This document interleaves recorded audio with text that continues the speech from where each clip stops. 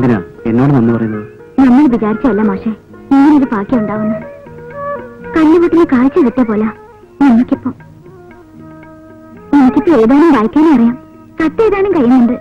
ആമിനെ ഒന്നും പഠിക്കണം. ഞാൻ പഠിപ്പിക്കും. പോട്ടെ മാഷെ.